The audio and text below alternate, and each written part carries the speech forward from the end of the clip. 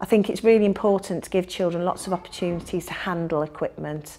Um, so the idea of when we've introduced number bonds 10, they're actually physically moving equipment, so they can start to see what's happening and start to see exactly what we're talking about when we're partitioning numbers in different ways.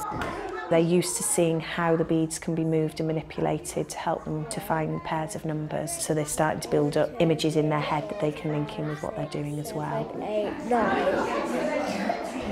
How many more to equal 10? We've got two here, so we can move two.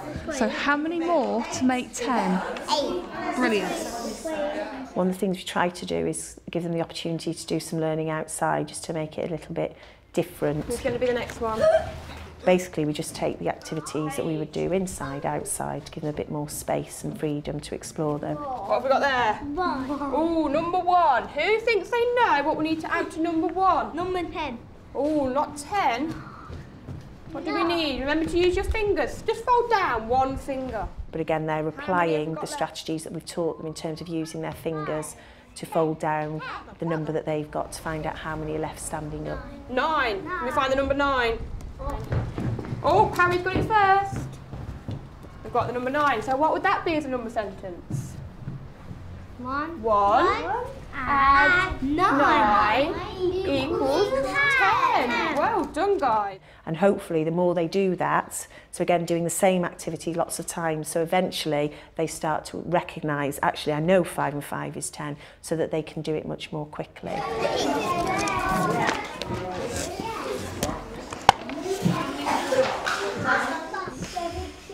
So you're modelling the same thing but in different forms so that children are seeing that they are not separate things, they're just different ways of doing the same thing. Four. One, two, three, four. So I've got six left. Three. Eight, seven left. Seven left.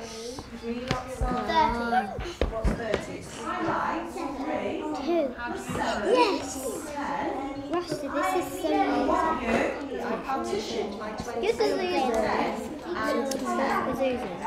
Now then, Seven. No, five.